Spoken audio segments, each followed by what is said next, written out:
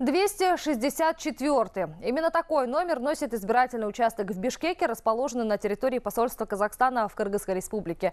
Это один из 65 зарубежных избирательных участков. По информации диппредставительства в Кыргызстане на консульском учете состоят 213 человек. Это студенты, сотрудники совместных предприятий, казахстанцы, постоянно проживающие в соседней республике и семьи дипломатических работников.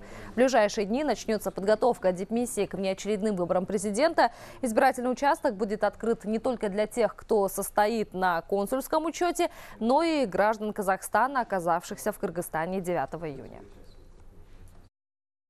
Самое главное, чтобы у вас на, на руках э, было какое-то удостоверение, удостоверяющее вашу личность. Либо загранпаспорт, либо удостоверение личности.